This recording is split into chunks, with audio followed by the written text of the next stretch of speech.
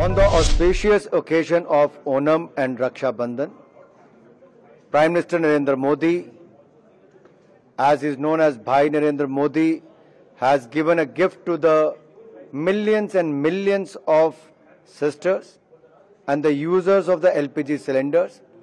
The prices of the LPG gas cylinder for the domestic use has been brought down by 200 rupees per cylinder for each and every user. At the same time, there will be 75 lakh new gas connection will be given under the Pradhan Mantri Ujjwala Yojana scheme. That will take up the total connections to 10.35 crore in the coming days.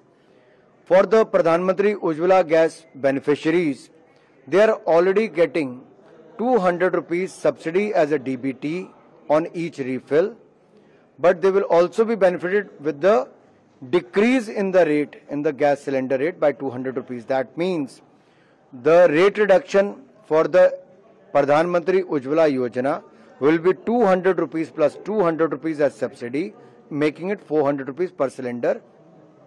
There is no political motive. I think it's a welcome step on the eve of Raksha Bandhan and Onam. Let me congratulate all the citizens of India.